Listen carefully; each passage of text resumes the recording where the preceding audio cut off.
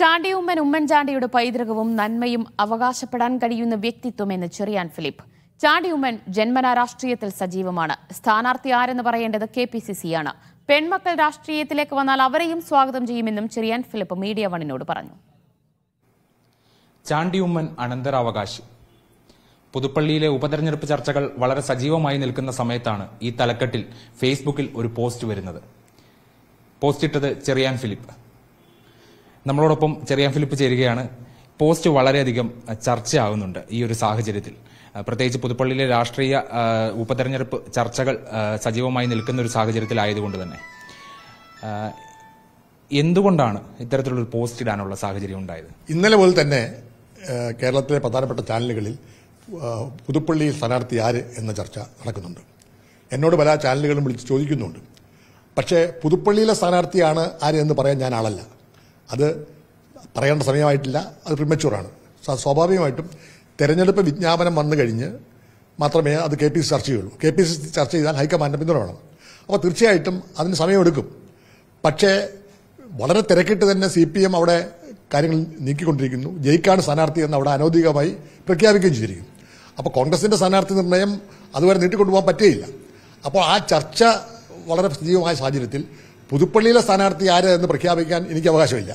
അത് കോൺഗ്രസ് ചെയ്യേണ്ട കാര്യമാണ്. പക്ഷേ ഉമ്മൻചാണ്ടിയുടെ പൈതൃകവും ഉമ്മൻചാണ്ടിയുടെ നന്മയും എല്ലാം ഉൾക്കൊള്ളാൻ കഴിയുന്ന ഒരു രാഷ്ട്രീയ വ്യക്തിത്വമാണ് ചാണ്ടിയുമ്മൻ.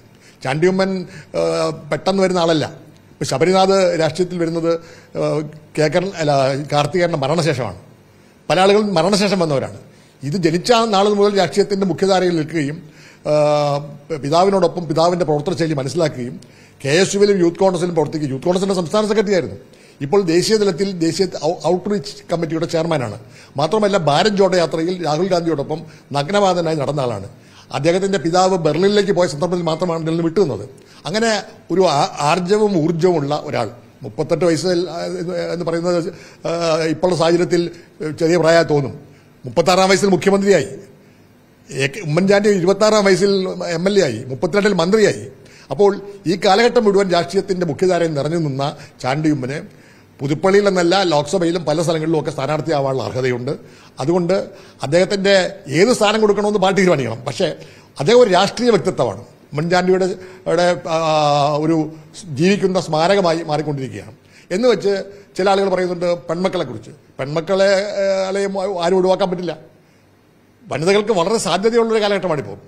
പ്രത്യേകിച്ചും വനിതകളുടെ സ്ഥാനാർത്ഥിയാക്കിയ എണ്ണം കൂട്ടേണ്ടി വരും. അപ്പോൾ സ്വാഭാവികമായിട്ടും രണ്ടുപേരും രാഷ്ട്രീയ ബോധമുള്ളവരാണ് നല്ല പ്രാസംഗികരാണ് കഴിവുള്ളവരാണ്. അതുകൊണ്ട് അവർക്കും സാധ്യതയുണ്ട്. അതുകൊണ്ട് അവരെ ഒഴിവാക്കണമെന്ന് ഞാൻ പറയുന്നില്ല. അതുകൊണ്ട് അച്യുമ്മനാണെങ്കിൽ രാഷ്ട്രീയത്തിൽ ഉണ്ടായിരുന്നു കെ എസ് യുവിൽ. കെ എസ് യുവിൽ ഒരു ഘട്ടത്തിൽ സംസ്ഥാന ജനറൽ സെക്രട്ടറി ആക്കാൻ തുനിഞ്ഞപ്പോൾ ഉമ്മൻചാണ്ടി തന്നെയാണ് അതിനെ എതിർത്തത്. അങ്ങനെയാണ് കല്യാണം കഴിച്ച് പോയത്. ഇപ്പൊ ചാണ്ടിയമ്മ ഫുൾ ഫുൾ മുഴുവൻ സമയം രാഷ്ട്രീയത്തിലുണ്ടല്ലോ. അതുകൊണ്ട് സജീവ രാഷ്ട്രീയത്തിലുള്ള ചാണ്ടിമൻ തന്നെയാണ് അനന്തരാവകാശി പെമ്മക്കൊക്കെ രാഷ്ട്രീയത്തിൽ വരണമെന്ന് ആഗ്രഹമുണ്ടെങ്കിൽ അവരെ കോൺഗ്രസ് പാർട്ടി സർവാത്മന സ്വീകരിക്കും.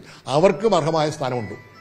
പക്ഷേ അതേസമയം തന്നെ ഇപ്പൊ അച്ചൂമ്മന്റെ പേര് താങ്കൾ പറഞ്ഞു. അച്ചുമ്മനെ സ്ഥാനാർത്ഥിയാക്കുവാനുള്ള ഒരു തീരുമാനത്തിലേക്ക് പാർട്ടി കടക്കാനുള്ള ഒരു സാധ്യത താങ്കൾ കാണുന്നു അത് ഞാൻ പറയാൻ പറ്റില്ല. കാരണം ആര് വേണമെന്ന് തീരുമാനിക്കേണ്ടത് കോൺഗ്രസിന്റെ ഇലക്ഷൻ കമ്മിറ്റി അംഗമാണ്.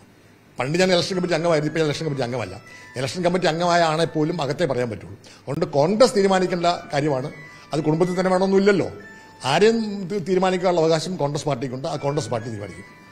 കഴിഞ്ഞ തെരഞ്ഞെടുപ്പുകളിൽ മുൻ തെരഞ്ഞെടുപ്പുകൾ പരിശോധിച്ചു കഴിഞ്ഞാൽ കഴിഞ്ഞ തവണത്തെ തെരഞ്ഞെടുപ്പിൽ വളരെയധികം ഭൂരിപക്ഷം കുറഞ്ഞിരുന്നു പുതുപ്പള്ളിയിൽ.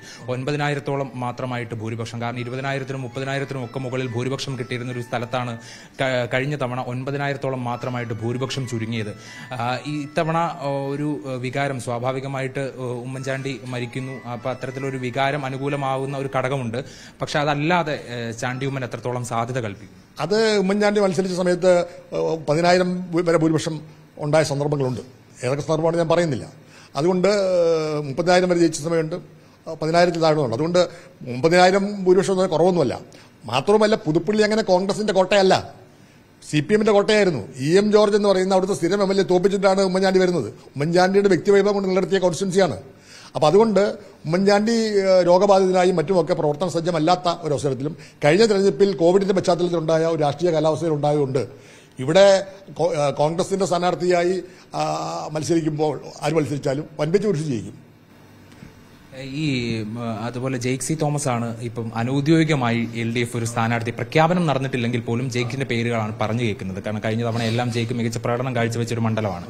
അപ്പോ ജെയ്ക്കിന്റെ ഒരു സാധ്യത പ്രത്യേകിച്ച് രണ്ട് യുവരക്തങ്ങൾ തമ്മിലുള്ള ഇപ്പൊ ആരായാലും അച്ചൂമ്മനായാലും ചാണ്ടിയുമ്മനായാലും ഒരു യുവരക്തങ്ങൾ തമ്മിലുള്ള ഒരു പോരാട്ടമായിരിക്കും. ആര് മത്സരിച്ചാലും കോൺഗ്രസ് സ്ഥാനാർത്ഥി ജയിക്കും.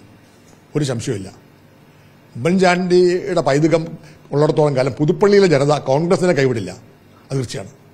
എന്തായാലും ചാണ്ടിയുമ്മൻ തന്നെ ആയിരിക്കും എന്നാണ് വിശ്വസിക്കുന്നത്. അല്ല ചാണ്ടിയമ്മനാണെന്ന് തീരുമാനിക്കേണ്ടത്? ഞാനല്ലോ കോൺഗ്രസ് പാർട്ടിയല്ലേ അതുവരെ തീരുമാനിക്കട്ടെ. എന്തായാലും ചാണ്ടിയുമ്മൻ അച്ചുമ്മൻ തുടങ്ങിയ പേരുകൾ വളരെ സജീവമായി നിലനിൽക്കുന്ന ഒരു സാഹചര്യത്തിലാണ് ചാണ്ടിയുമ്മന് അനുകൂലിച്ചുകൊണ്ടുള്ള ഫേസ്ബുക്ക് പോസ്റ്റുമായി ചെറിയാൻ ഫിലിപ്പ് രംഗത്ത് വന്നത്. എന്തായാലും പുതുപ്പള്ളി ഉപതെരഞ്ഞെടുപ്പുമായി ബന്ധപ്പെട്ട ചർച്ചകൾ വളരെ സജീവമായി തന്നെ തുടരും എന്നുള്ള സൂചനയാണ് ഇത് നൽകുന്നത്. സുജ സുധാ- സുധാകരനൊപ്പം ഹരിമോഹൻ മീഡിയ വൺ തിരുവനന്തപുരം.